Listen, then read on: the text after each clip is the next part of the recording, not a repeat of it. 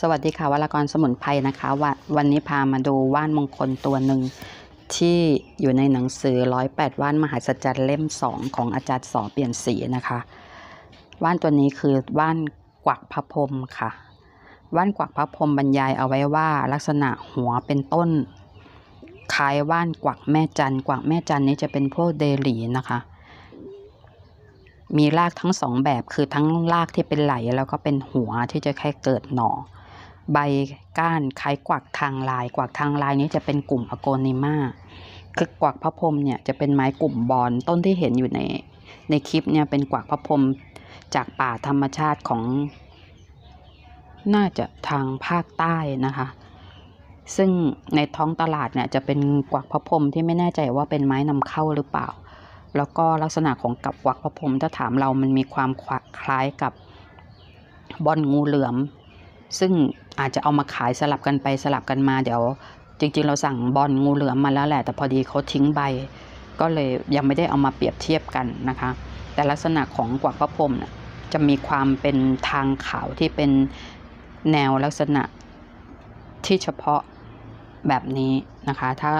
ถ้าเป็นบอลงูเหลือมจะออกไปอีกแบบหนึ่งลองเซิร์ชคำว่าบอลงูเหลือมดูก่อนก็ได้เดี๋ยวถ้าของเรางอกแล้วจะเอามาเปรียบเทียบให้ดูนะคะ เขาบอกว่าคล้ายคล้ายกวักทางลาย เดี๋ยวระหว่างกวักทางลายกับเขียวพันปีเขียวหมื่นปี เรายังค่อนข้างสับสนอยู่ขอขอศึกษาอีกนิดนึงแล้วเดี๋ยวจะเอามาเล่าให้ฟัง ดอกออก กลางยอดของกาบใบคล้ายดอกจำปี คือก็เหมือนกับดอกบอลทุกชนิดละค่ะ ลักษณะแบบเดียวกันหมดเลยสรรพคุณของว่านนี้เป็นว่านที่มีคุณสมบัติสูงมากอีกชนิดหนึ่ง ในตระกูลว่านกวักด้วยกัน ให้หามาปลูกไว้กับบ้านเรือน ร้านค้าร้านขายบริษัทห้างร้านต่างๆ เป็นว่านนำโชคที่นำความเป็นสิริมงคล โชคลาภเมตตามหานิยม บันดาลให้เกิดความร่มเย็นเป็นสุข สมบูรณ์พูนสุขตลอดจนความรุ่งเรืองให้แก่เจ้า ผู้เป็นเจ้าของอีกทั้งยังมีคุณ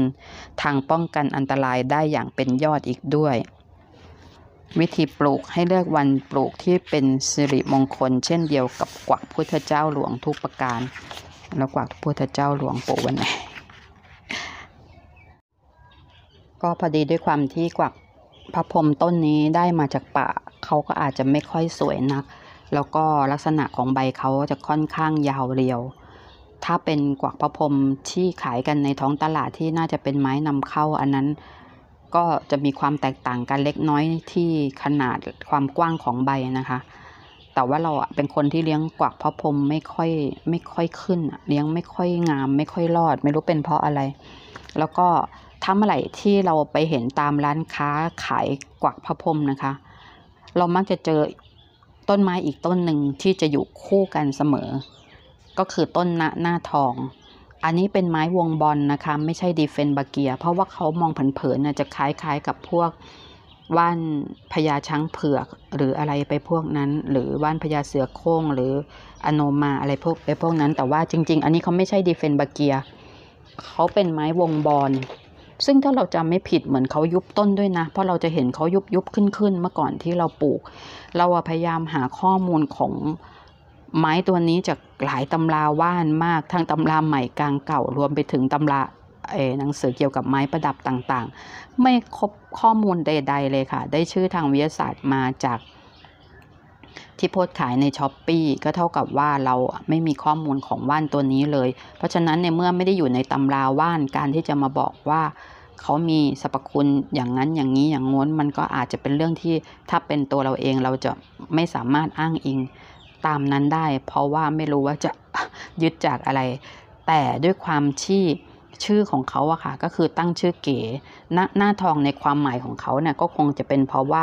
ว่านตัวนี้เป็นบอลที่มีมีใบด่าง ก็เลยให้ชื่อว่าณหน้าทองเหมือนกับการลงละนักการลงณหน้าทอง ซึ่งจะเป็นเรื่องของเมตตาค้าขายหรือว่าเป็นมหาเสน่ห์เมตตาอะไรไปประมาณนั้นนะคะ แล้วเขาก็ระบุไว้ว่าเป็นว่านสกุลเดียวกับกวักพระพรมก็เลยจะทำให้เราเห็นว่านสองตัวนี้มีวางขายคู่กัน แต่อยากจะบอกว่าราคาของหน้าหน้าทองเมื่อสองสาเดือนมาเนี้ยราคาพุ่ง แต่ตอนนี้ก็เริ่มลงมา พอจับต้องได้บ้างแล้ว ส่วนกับกวักพระพรมนี่ถ้าด่างราคาก็ไปไกลมาก เพราะว่าไม้ด่างก็จะสวยมาก แต่เราว่าเลี้ยงยากพอสมควรนะคะ ต้องเข้าใจนิสัยของเขาพอสมควรเลยกวักพระพรมก็ใครที่เป็นเซียนเลี้ยงไม้ต้นนี้ก็คอมเมนต์ให้ความรู้กันหน่อยนะคะ ว่าคุณเลี้ยงยังไงมันถึงได้งามอะไรขนาดนั้นนะคะ เรามาพูดกันเรื่องหน้าหน้าทองอีกนิดหนึ่ง การเรียกต้นไม้ที่เรียกว่าหน้าหน้าทองใช้เรียกไม้สองตัวหนึ่งคือว่านในตระกูลขมิ้น แต่ก็เป็นว่านนอกตำรา คือพูดง่าย ๆ ว่าในตำราทุกเล่มไม่ไม่ว่าจะเป็นใหม่กลางเก่า จะไม่มีการพูดถึงว่านณหน้าทองไม่ว่าจะเป็นวงขมิ้น หรือวงบอลใด ๆ ทั้งสิ้นเลย ก็ถือว่าไอตัวว่านกลุ่มขมิ้นที่ชื่อว่าณหน้าทองอะ เราก็จะให้เกียรติว่าเป็นว่านประจำท้องถิ่น เพราะว่าจะเห็นคนในพื้นที่หลาย ๆ ที่โดยเฉพาะทางภาคอีสานเขาจะเรียกว่านตัวนี้และลักษณะของเขาเนี่ยก็คือกลางใบของเขาอะจะเป็นแถบสีแดงขนาดกว้างที่ค่อนข้างชัดเจน ก็เลยได้ชื่อนั้นมาแต่สรรพคุณจะเป็นยังไงนั้นเราไม่ทราบเพราะมันไม่ปรากฏในตำราว่าเล่มใดและต้นนี้อีกก็เหมือนกันนะคะหน้าหน้าทองที่เป็นกลุ่มบอล แต่ในความด่างความสวยของเขาแบบเนี้ยก็เป็นอีกตัวหนึ่งที่น่าเก็บสะสม แล้วเราจะอ้างอิงสรรพคุณ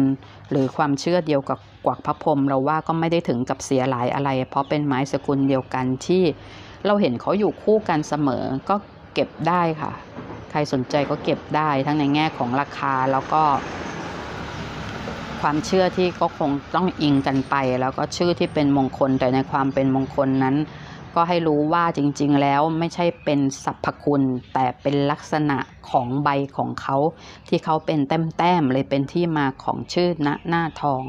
นะคะ เราก็จะได้แยกแยะ เพราะว่าการตั้งชื่อ ต้นไม้ส่วนใหญ่จะตั้งสองอย่างหนึ่งตามลักษณะสองตามสรรพคุณ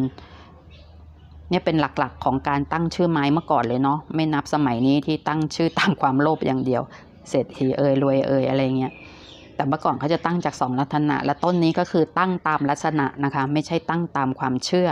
แต่ในเมื่อลักษณะดีชื่อดีแล้วก็ถือซะว่ามันเป็นมงคลไปด้วย ก็พอจะเป็นไปได้ แต่ก็ให้รู้ว่ามันไม่ปรากฏอยู่ในตำราว่านเล่มใดทั้งสิ้นนะคะ ก็ใครมีข้อมูลเพิ่มเติมเกี่ยวกับต้นนี้ หรือมีตำราเล่มไหนที่เราพลาดไป มีระบุถึง ก็ช่วย